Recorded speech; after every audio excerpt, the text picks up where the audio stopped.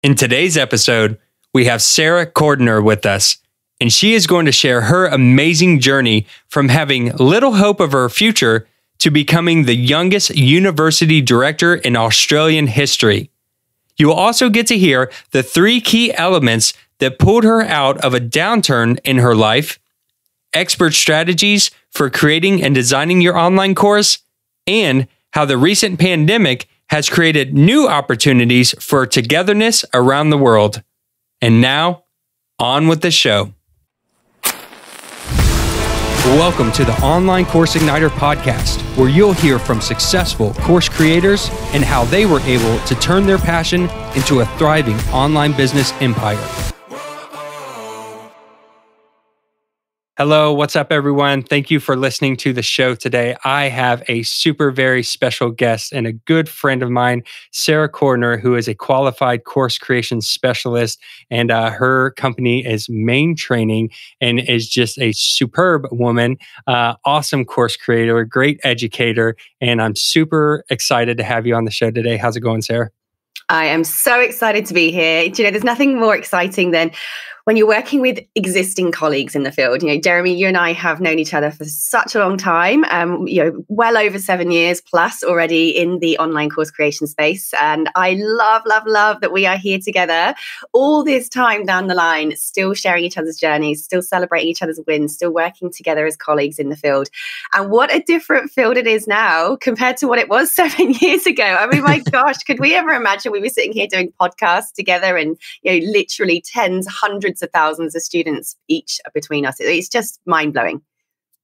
Yeah, it is absolutely mind blowing. We met a long time ago and come from you know different backgrounds, different niches, different industries, um, even ways of teaching. I didn't know anything about online courses and education. You come from an educational background, and we cross paths. And this is just such a, a, great time in the world where you can have uh, an online business and meet people from across the world and become friends and share this journey together. And I've watched you grow and have just seen the explosion of your company, your brand, your business, and you as a person. And it's been super exciting to watch. So I am just thrilled to have you on the podcast today. And for anyone who doesn't know who you are, and if you're watching the show, my God, you should know who Sarah Cordiner is. Um, everyone recommends you because you just put out such great material. But for anyone who might not know who you are, why don't you take a moment and just tell us a little bit about uh, your backstory, what you were doing before you got into online business, and then how did you end up where you are today? Yeah, well, um, thank you for the intro and for the for the very kind words there. Um, one thing I do know about online is that um, we can create a community, we can create a village or a city in our own industries, and it's it's really interesting. You say, you know, uh, people know each other's names in this field, and anyone who's I believe is thinking about going out to create online courses, anyone who's going out to create a brand, to go out and impact people with the knowledge that they have. I really want people to know from your and my stories alone, Jeremy, that you have an absolutely unlimited capacity to do that. It is actually not as hard as you think to be able to make something of yourself, of your name, of your brand, of your business, if you're just courageous enough to go out there. So thank you for saying that. And I just want to make sure that, you know, I did not fall out of some, um, you know, special magical universe to have been able to have the success I've had in my business. In fact, fact, you know, I actually came from a gypsy background. So for those of you who aren't familiar with that, you know, some people always go, "What, like my big fat gypsy wedding?" yeah, pretty much, right? In the in the background that I come from, the cultural background is that it was uh, it's not expected for females to actually even have a job, let alone an education. From the background that I come from, it's a woman's job to raise children and to take care of her husband. And I grew up very much shrouded by that mentality and that expectation. Stepping outside of that expectation was very much frowned upon. however, went on to become the first female in my entire extended family to actually receive an education. Not only to receive an education, but to then go on to university and complete a degree in education. I have since gone on to currently hold the world record for being the youngest university director and head of campus in Australian history, and have students well over 120,000 in 168 countries running a seven figure education services company with online courses. And yeah, I still have to say that. I'm not quite sure how that happened, but it really came with determination. It came with looking inside and asking myself, what makes me feel good? What makes my heart set on fire? You know, what are the things that I'm doing when I just feel like I want to keep doing this forever? Then time just disappears. And for me, when I look back as a kid, it was always things where I was reading, I was writing, I was translating content, I was passing on information to others. I, I always found ways to teach, even when I was a child. And I think when you find that thing that you love, for you, whether it's the actual creation process of creating your courses, your content, whether it's the actual publishing part, you know, the, the joy of putting a, a legacy out there, Maybe for you, it's the actual presentation. You just love to speak. You have a natural gift to share what's in your mind and let it come out of your mouth articulately in a way that people understand and feel motivated. Maybe you have a gift for making people feel better. Maybe you have a gift for making people just feel noticed and that they're not alone. Maybe you simply just have strategies that are straight to the point that help people get somewhere fast. Any one of those things, if any of those things excite you, you can literally take those skills and take yourself to the moon and beyond whilst you're helping other people as well. And I genuinely believe that just tapping into and noticing the things that make me feel good was enough to keep my fire burning, to keep learning, to keep pushing forward and getting where I've got to today.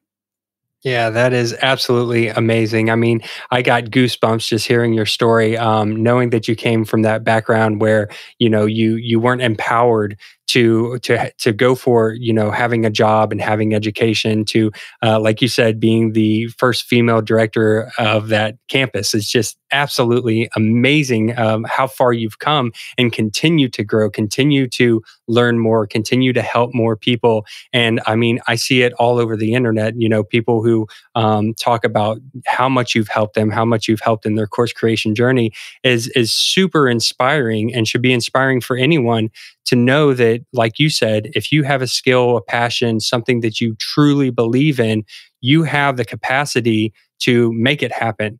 And uh, I think you're a living testament of that. And you're only growing more, only getting better. And uh, I just can't wait to see where you go from there.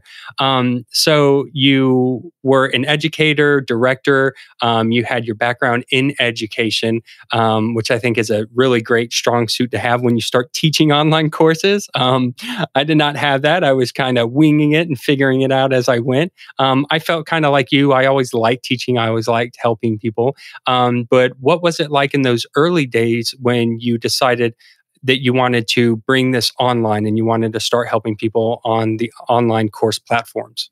Yeah, I've kind of got that cheesy but very true story where actually my breakthrough online came from an absolute breakdown. Um, I was, um, I, I, actually moved over to Australia. Some of you can hear by my accent, I'm actually English, British. Um, I moved over to Australia in early 2012 with nothing but an empty suitcase and a whole load of hope. But I had been running um, various, teaching various education programs, mostly personal and professional development type courses, um, and train the trainer type programs in corporate. So I had been going into banks and delivering this training. I'd been working um, with uh, mining companies, um, you know, defense forces, writing curriculum and things like that. So I was very, very, uh, I was doing, it was very successful behind the scenes, but very, very silently going about local corporates in my local city, helping people, um, you know, in a way that didn't really make a great deal of impact. I liked it, it was good money, but there was something missing for me. I kind of felt a little bit held back. I felt a little bit tied down. I had this thing that I couldn't explain that made me feel like Sarah, this little voice inside me there's something more. And I couldn't figure out what it was. And there was this one particular day, and uh, any of you who've listened to any of my, my podcast interviews or anything before will, will have heard this story that uh, one day in Western Australia, my business was going great. I had three offices across, uh, across Perth. I had 23 full time employees working in those offices. You know, you walk into the building and everyone's got the music on, the coffee machine's blasting, someone's brought their dog in, you know, like it's, it's it was fun. It was like, it was kind of everything I dreamed of, but still couldn't work out what was going wrong. Anyway, um, on the, we basically Western Australia experienced a massive mining bust, and WA, Western Australia, is absolutely heavily dependent on income from mining. Most of my clients were in mining. We had a huge number of projects that we were delivering for under a fund from the federal government all of our clients that were paying us to go and travel out to remote Aboriginal communities to deliver positive training and education programs, all of a sudden lost their funding. It was a complete overnight thing. It happened one Tuesday morning. And I remember getting the first call from one of my clients, and they said, Sarah, we're really, really sorry. We've just literally come out of a big conference call with all of our bosses. We have just lost all of our funding. We cannot pay you. And I went, well, what do you mean you can't pay me? like, I've got my quarter's bill that I'm about to send through. They're like, we are really sorry. Like, we can probably pay you a month of it, but we we literally have lost all our funding. Everything is gone. Uh, I've got trainers, 23 of them out. Like, any of you who have any comprehension of how big Western Australia is, right? there are people out in whoop whoop that we say, like, whoop whoop means literally in the middle of nowhere with no mm-hmm. phone signal, no sat phones. They literally think they're sitting out there for the next two months, right? they are out in these Aboriginal communities having no idea what's going on behind the scenes. So anyway, I laugh, um, but it was. I'm just thinking, what am I going to do? I've got these people to pay. The phone rang again. It was another client who was also funded by the same federal fund. Sarah, we can't pay you. Phone rang again. I literally picked up the phone and went, I know, don't say it. Like, I know, I, I know why you're calling me. So this happened. I had a handful of, of calls come through. And by the time five o'clock came, I knew that I was in severe trouble. I literally, in one single day, lost $2.7 million and 23 employees. Oof. I closed the door to my last employee, having said, I'm so sorry, you don't have a job anymore. Your redundancy will be paid. And I sat down on the tile floor in my office and I threw up in the waste paper basket. I just mm. thought, what am I going to do? I'm absolutely, completely, and utterly broke. I, I don't know how I'm going to pay off the leases. I've got these office leases. How am I going to pay those out there? I've, I'm in a contract for another year with these things. You know, I've got 23 desktop computers and all of the equipment. I've got coffee machines that are on lease. I've got staff cars. I've got re- like 23 redundancies to pay out. I've got Eh, I just was sitting there going, and this, and this, and this. How am I going to get out of it? I called my accountant. I said, What do I do? He said, Sarah, you have to go into administration. You have to fold. He said, Big businesses can't get out of this, let alone businesses that are as small as yours, right? You know, I'm talking small 23 full time employees, right? It wasn't small, small. It was a seven figure company. But he was going, You just can't get out of this. You can't survive this. No one can survive this. And I hung up the phone. I threw up again and I opened a bottle of wine. I did drink all of it while sobbing, right? a puddle of tears on the floor and self pity literally strangling me. Um, and I, it was about three o'clock in the morning, and I was still sat there just crying. And I thought, you know what, a little bit, little bit of red wine courage came in. that true, like defiant entrepreneurial spirit found at the bottle of the bottom of Shiraz, right? That said to me, do you know what, Sarah, you got yourself into this. You need to get yourself out. You are 100% responsible for getting complacent. I had, you know, all this money coming in, but they were essentially all funded, albeit through different clients, by the same fund, right? That is a massive, major risk taking strategy right there. That is poor leadership on my part. I put all my eggs in one basket. And there I was, you know, sipping my martinis, driving my nice car, looking my flash office, thinking I'd made it. And it turned out, you know, my business was built on the whim of one particular fund under one particular government in one tiny state. And I thought, well, dude, no wonder I'm in this situation. I called my accountant the next morning and I said, Look, I'm not going into administration. I got myself into this. I need to get myself out of this. Every single part of this, of what's going on right now, is completely and utterly my responsibility and the result of my poor leadership. I'm going to learn from this. I'm going to pay back every single cent. Called the tax office, put in a payment plan for all the um, superannuation, retirement fund money, all the staff taxes that had to be paid. Woo! Thank you, tax office. And I got to work. So I thought, well, ha- what am I going to do? I don't have a local business anymore. I no longer can depend on my local economy. I have to do something else. so I thought, I know what I'll do. I've just spent years delivering, repeating the same workshops over and over and over again. I was doing leadership training. I was doing train the trainer training. I was just, you know, all these things that I just kept on getting paid to repeat to a different client every single week. So I thought, well, I'll tell you what I do. If I can't drive to my local city and work with these guys anymore because they've all lost their money, why don't I just record what I've been teaching face to face for all these years and somehow find a way to take it to somebody that's not in Western Australia? So I did. I um I went out and bought a camera and I just started recording these workshops and I had no idea what I was doing. Right? I knew how to teach, I knew my content. That was like lucky, but I had no idea how to look down the lens of a camera. I got really stiff looking at a camera. Like presenting in a classroom is so different. You know, you feed off the energy of the room, you bounce off of the people that are there, you change your pace, you change the way that you're delivering based on who's there and the questions they ask. When you're staring at a camera, I felt like I was genuinely staring down the barrel of a gun. And I remember, like, I even have some of my videos. I mean, any of you, I'm going to cringe to even point you here, but go back and look at some of my first YouTube videos. Like, it, they are so embarrassing. But I keep them there to make a point, right? To make a point that nobody falls out of the womb knowing how to present to a camera. It just doesn't happen, right? There's no such thing as when people say, Oh, you're such a natural on camera. I'm like, No, I just absolutely embarrassed myself way more than you have so far, right? have to do it. And so I've recorded these videos. I, I, I, chucked them all up on a big, fat, unedited, ugly looking video. I think there was some terrible corporate webinar software I was using back then was clunkier than a phone book, right? And I just started emailing all of these clients I'd worked with in the past and said, Hey, I know you don't have the budget to afford my daily rate anymore because I was expensive, right? But I've just recorded the workshops that I used to deliver to you for thousands of dollars a day. And actually, you can just have it for a couple of grand if you like and you can just give it to all your staff. And they were like, what? We're just saving an absolute fortune right here. Like they've gone from paying me like a lot of money to getting a whole course for a couple of grand. So they were like, we'll take it. I was like, great. And there's a tiny little, tiny little bit off of the debt I now have to pay off and all the redundancies I've got to pay. So that went off. and I thought, well, this is working. And I just literally got out a digital um, directory you know, go onto Google and type in, we, we, we're in Australia. So I typed in ASX listed businesses. I, that's our Fortune 500 over here in Australia. And I just literally emailed them all said, I've got this online course. Would you like it? It's way cheaper than paying me by the day.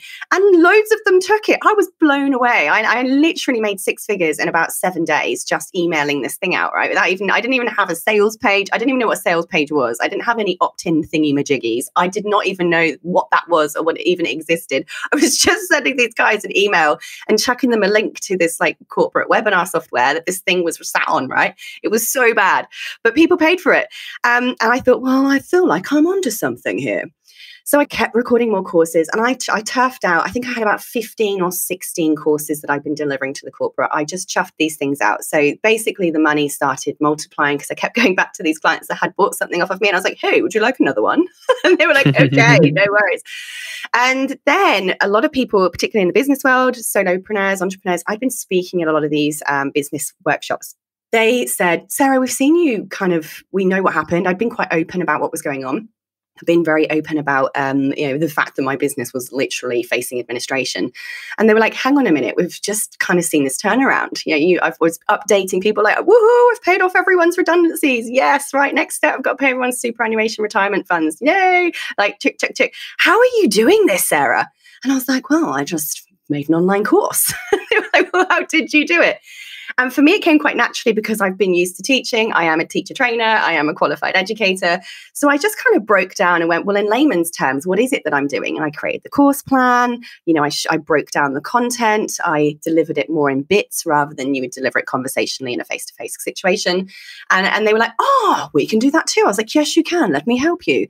And boom, it just went from there, really. And that's when I discovered um, that there were actual learning management systems out there rather than me just dumping this stuff stuff onto these webinar platforms. And I started investigating these online learning management systems. And this is when I came across marketplaces. Uh, and, and Udemy was obviously one of the biggest marketplaces I came across back then. It was still very new. Um, there were only 30,000 users, I think, or something at the time that I joined. There are, I think, over how many is it now? 30 million? Yeah, yeah, like it's it's up I, there. yeah, like we're talking. That's how small Udemy was, and obviously that's where I met you, Jeremy. You know, there was these tiny little groups of people like you and I who'd kind of discovered that education had actually gone commercial, right? It had gone from being this boring thing that you have to be academically qualified for to actually in a very exciting, sexy, it's become a commercial thing thing.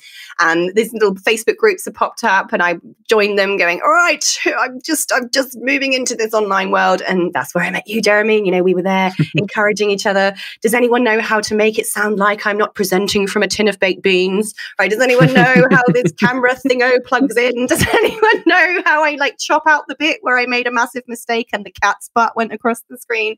I remember those days where all of us literally got by because there were no online courses on how to do any of this. There were no instructional manuals on how to do this. There were no books on how to do this. There were no podcasts on how to do this. We were literally just helping each other, blind leading the blind. And we made it work, didn't we? I mean, look where we are now you know, it kind of happened by accident. But along the way, accidents come, I think, to not only show you that you are supposed to be on a different path, accidents also come because they're the perfect opportunity for you to learn, grow, connect, and and create something magical along the way. And I love it. Yeah, definitely. Um, just amazing. A um, couple of things to unpack here. Um, but first of all, you know, I completely agree with you that that was a great accident. Um, you had special skills that you could help with. I had skills. Other friends of ours in these groups were chiming in and, and helping out. And, um, you know, it, it's sad to see uh, some uh, people who are dissuaded by competition in industries. And in this particular industry of course creation, um, I've never felt that from people. I've always felt a tight knit community of good friends and people willing to help out each other. I mean, me and you are in the same space. We're both helping people learn how to create courses. Um, our styles are different. We're different people, but I don't see you as competition. I see you as a good friend of mine and, and someone that I can learn from. And hopefully, there's things that you can learn from me. And so I feel like if people have that open mindset um, in their industry and in their business, it will go so much further than thinking of someone as competition or I can't do it because this person's doing it. Because that that community that you can build can be super powerful. Um, I want to just talk on a couple quick points here, just things that I noticed in your story that I just wanted to point out to um, the audience that I thought was super important. Um, first of all, that the fact that you took responsibility, I think, is super important. The fact that all of these things were happening. You were losing this business. You were having to let people go. And at that point, it would be so easy for someone to say, to blame. I blame the government. I blame, you know, the funding. I blame this. I blame that. And and that's what we as humans naturally want to do. We want to start pointing the fingers and, and saying this, this shouldn't be happening to me because of these reasons. But you didn't do that. You took responsibility. You said, This is my leadership. I got me here. I need to get me out of here. And doing that, I think, is um, just really important for anyone and in their business. Business is going to be hard. You're going to have obstacles. You're going to have roadblocks. You're going to hit those really hard times. Some of them are small mistakes. Some of them are two point seven million dollar, uh, you know, errors that happen. Um, but regardless, you got to take the reins. And if you want to be the entrepreneur and you want to be the leader, you got to say, "I'm responsible for the things that happen in this business." That was number one. Number two, you took action. Um, you said, I'm not going to sit here and wallow. Uh, maybe I don't know how to use a camera or I don't know how to set up a, a online course platform, but that's not going to stop me. I'm going to take action now. I'm going to use what I have. I'm going to go out and I'm going to just start moving forward and you took that action you got the camera you figured it out you learned how to use it you learned how to upload the videos you learned how to get on the marketplaces and, and, and you know i commend you for that you know? We want to we want to learn and yes you need to learn you get need to hone your skills but you can't get stuck in paralysis by analysis. You got to take action. You got to move forward. Um, you can sit there and take all the courses in the world, and you know, Sarah and I hope you take all of our courses in the world. but if you're not taking action on those courses, they're worthless. They don't mean anything. We don't want you to just watch videos. We want you to take the videos, learn from them, and then go apply that into your life or in your business. So, first was responsibility. Second thing I saw was that you took action. And number three, you started basic. You know, everyone gets so worried about the technology and I got to have the fanciest cameras and the fanciest lighting systems and the best, you know, what marketplace or what platform should I do?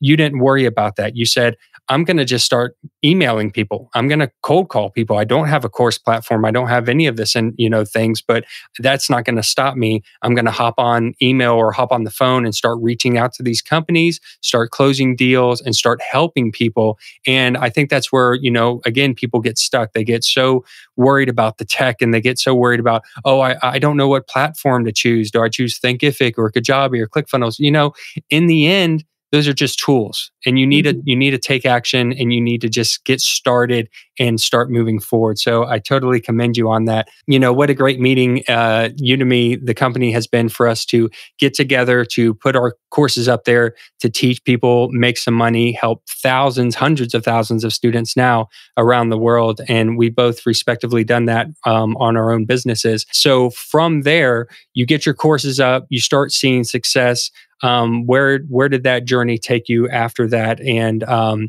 if you just want to talk a little bit about, you know, how how were you going about creating your courses? Um, what does some of your course creation strategy look like? How are you picking topics moving from this point forward?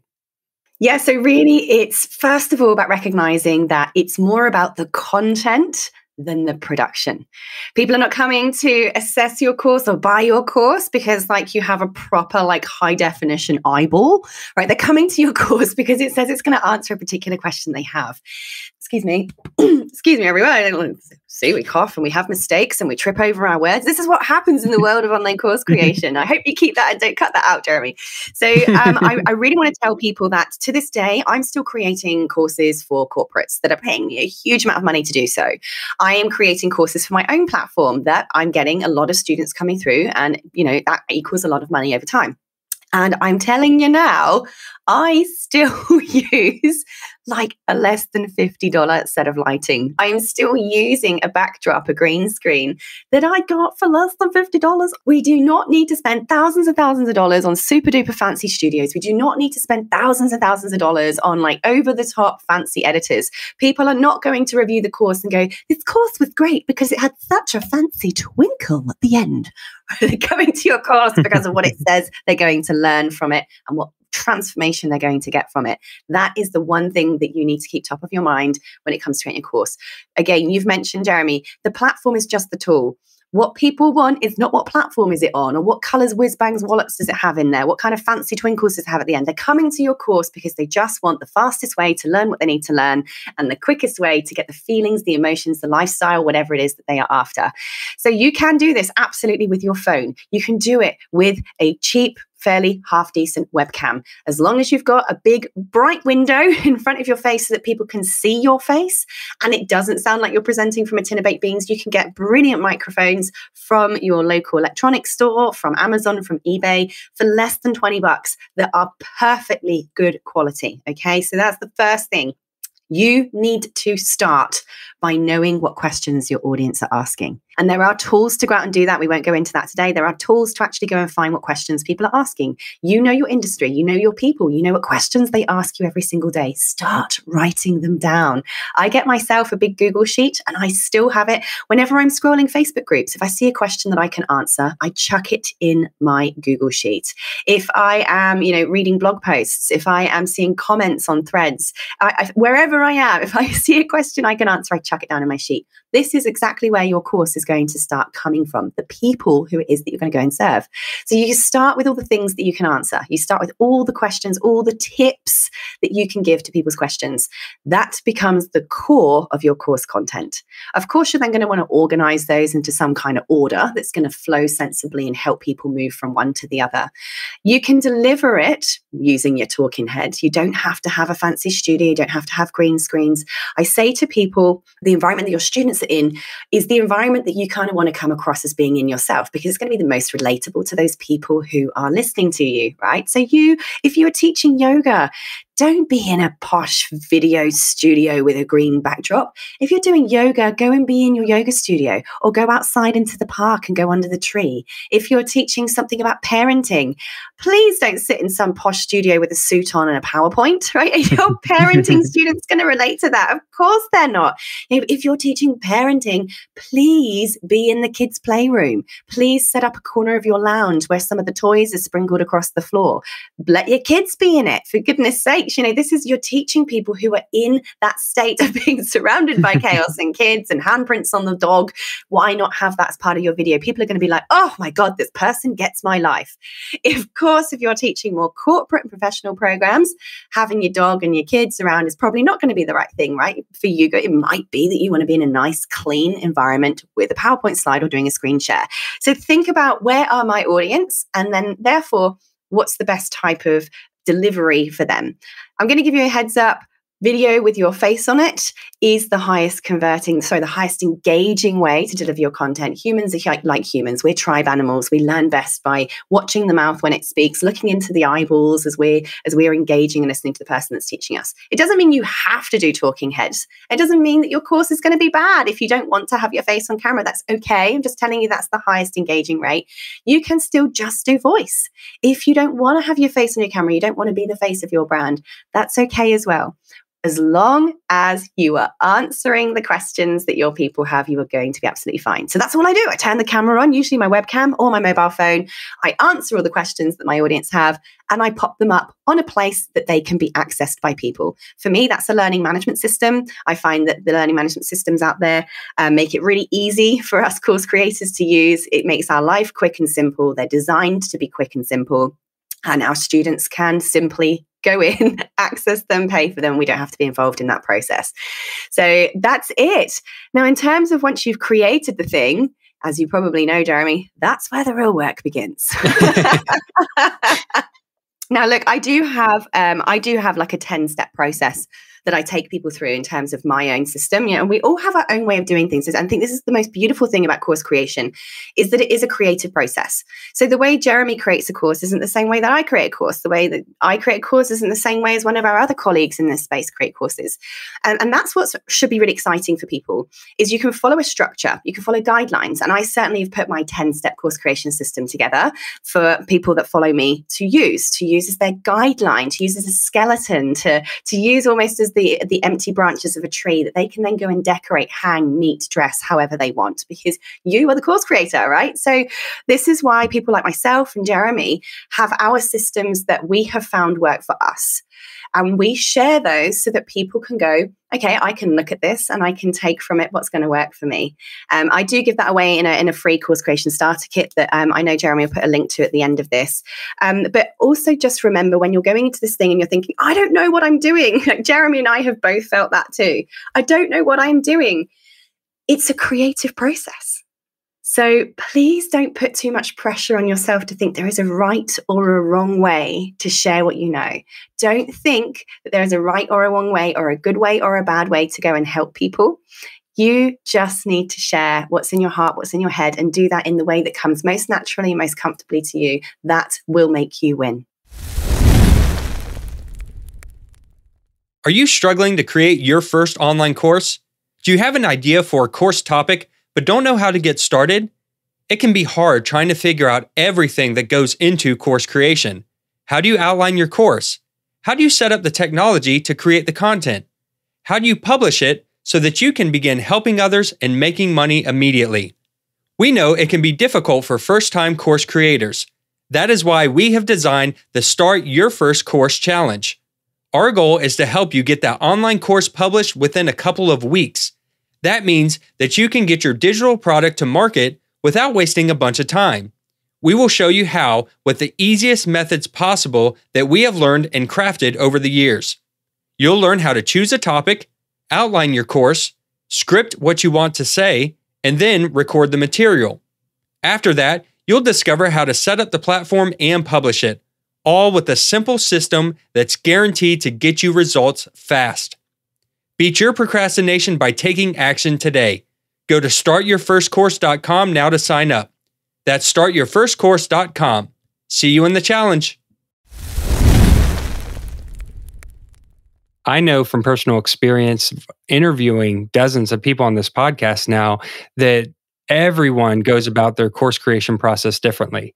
Um, I, have had people who were educators, people who weren't educators, people who started with live classrooms, people who went straight into online courses. We've had every industry under the sun on this podcast, and you you just learn what fits your style and what fits you. And I love that you say it's a creative process because it really is. It's a fine mix of um, a little bit of analytical where you're you're learning technology and you're learning how to do some of these things that you have to do to get the course online but there's a lot of art to this. And as it being art it's malleable. You can make it how you want it to be. You can make it fun. You can make it interesting. You can make it serious. You can add gamification to it whatever you would like to do. And so i'm, I'm glad that you say that because i don't think enough people um, really harp on that that point. And i think that it is important that um, as you begin creating, you're going to find your style. And your audience is going to resonate with you because of who you are and the information that you're providing. Some people are going to love Sarah. Some people aren't going to find Sarah that great. Some people are going to love me and they're not going to find me that great. It's so true. And that's why there's no competition. You know, you've touched on this already. And this is so true for us because I say to people all the time, people are like,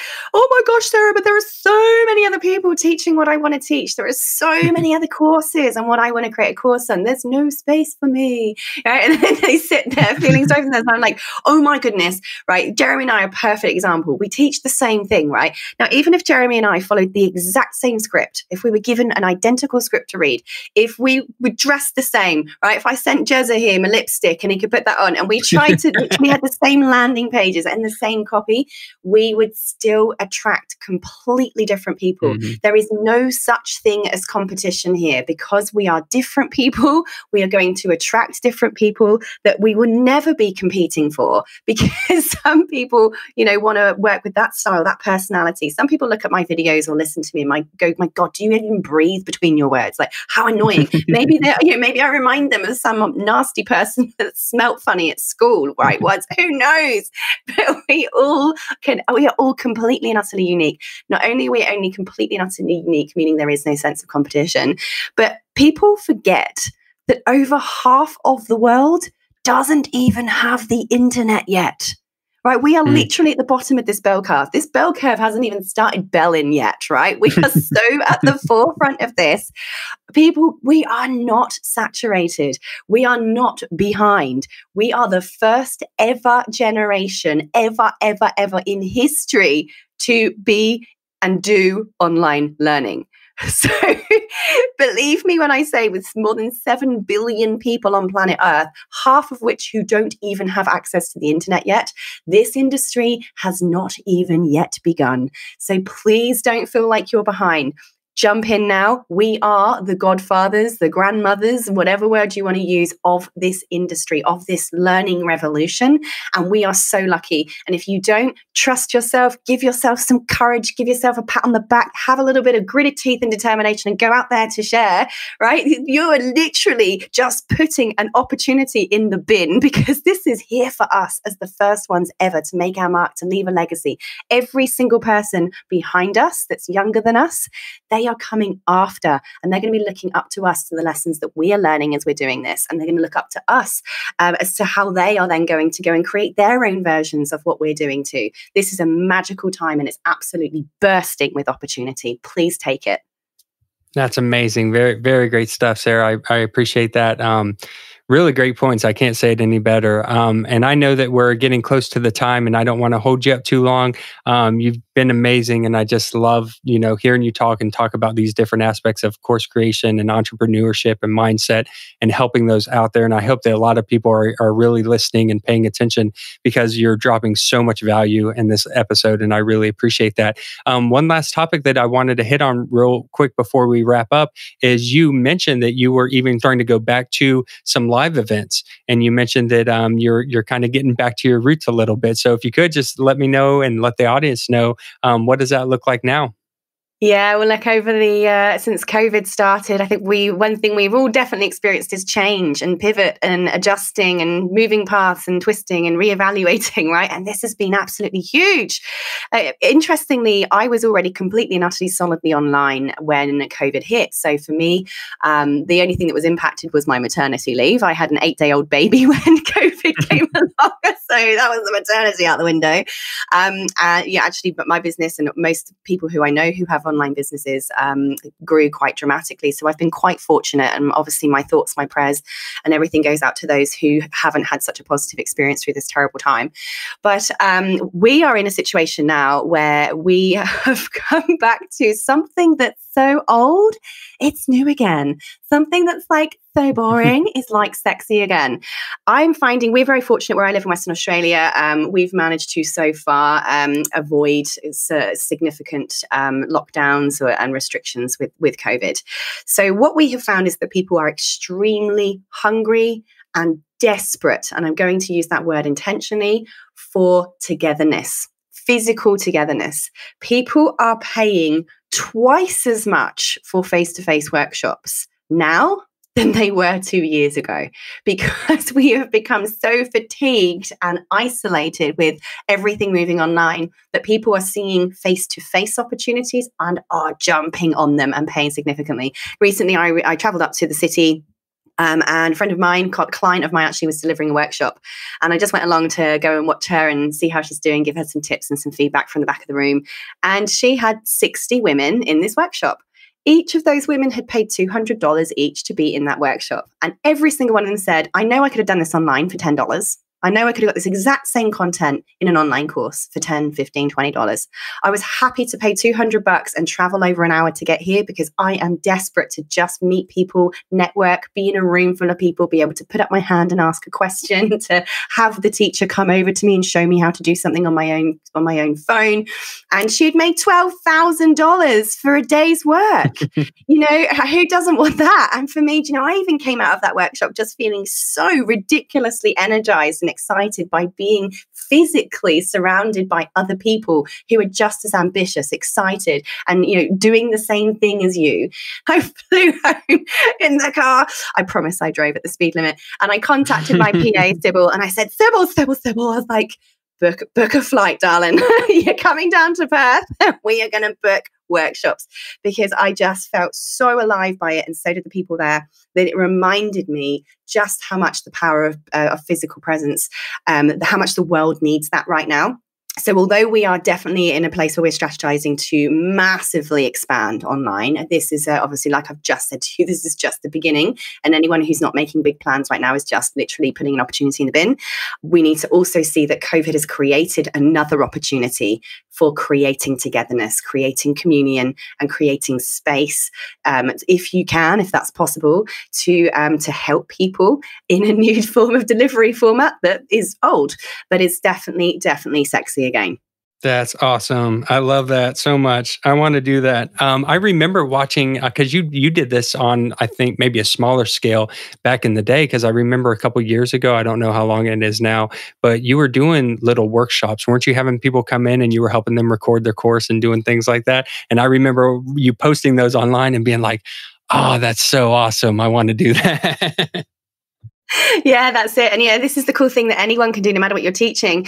Um, is you know how could you bring a face to face element of that? And so I, you know, I created my course creation boot camps where I'd hire a big mansion, I'd bring my whole film crew, all of my editing team, and people would literally walk away after a week with their whole online course filmed, edited, uploaded onto their own online school with sales being made before they walked out the door. You know, that's your high ticket thing. What would be your own high ticket equivalent of that? Can you create some kind of immersion program or retreat that you may do when and when because it's not if when we will go back to you know being allowed out of our houses again at some point. When that happens what would be your equivalent of a retreat or an immersion program? The other flip side of it is another service i um, i was offering until covid hit was um, um, you know literally come to my house for a day. And people were paying a lot of money to come to my personal home sitting with me. We'd create their course plan in the day. We'd set up their online school together. Uh, they would then jump in my studio use my equipment to film their course. And at the end of the day i'd take them out for dinner. We'd have a glass of wine and sometimes they'd stay the night. You know, we'd have a good old chin wag about our plans and our goals and get excited. That was getting solidly booked out all of the time. And there is still space for that. So, what would be the equivalent of that for you guys listening? You know, every single one of us have something that we could sit down with one of our customers and give them that one on one, let's get it done kind of experience. You do have that. Please think that just because you're creating an online business, again, we talk about tools, vehicles, mechanisms, online, using this camera, using this webcam, using this microphone, using the lights that are all around me while I'm talking right now. These are just tools to be able to share with people all of the different ways that I can help them. You know, but don't limit yourself to just one. You can create self-study online courses. You can create an online coaching program. You can create one day ex- done for you experiences or done with you experiences. You can create retreats and immersion programs. You can do done for you services. All of these are opportunities that you can be using to help your people grow to the next step and you know whilst you grow at exactly the same time. Yeah, that's awesome. And not only that, but you're diversifying your revenue streams. And, you know, if, if something happens, like another COVID happens or uh, online goes down, then you have the offline stuff and vice versa. Or another funding changes.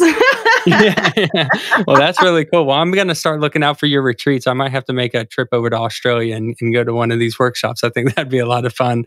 Sarah, it's been awesome. So awesome having you on the show. I'm so glad that you uh, agreed to come on and share your time with us today.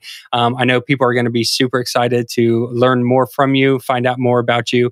Um, where can people go online to get that 10 step process or to learn more about what you're doing today? Yeah, thank you so much, Joan, for the opportunity to share and um, for us all to follow each other. And obviously, don't forget to also jump into Jeremy's programs and giveaways too. I do have a free course creation starter kit um, that has my personal 10 step strategy for creating an online course. And it's got a five day create your course outline challenge included in there for free as well. That's at sarahcordiner.com forward slash starter kit. That's completely free of charge. So if you want to have a little sneaky peek at the way I do it, um, that that's what you will find in their full tutorial videos and downloads for you to get through. Perfect. Well, I will make sure that I link that and every other uh, social media platform and, and your website and all those links. I'll put them in the show notes. So just stay tuned to the end of the show and I'll have the link for that where you can uh, go to the website and find all those links and go straight to her site and start um, just devouring all this wonderful information that she has for everyone. Sarah, thank you so much for coming on the show today. I appreciate you. I appreciate everything that you're doing. And um, I love our friendship and how far that we've grown together. And I only hope the most success for you in the future. My absolute pleasure. And I can't wait for us to keep on strategizing behind the scenes and see where we take it to the next level because do you know what? Our goals are just going to keep growing. Jeremy, thank you for having me today. And uh, yeah, I can't wait to catch up with you again soon. Thanks so much for joining us today, Sarah.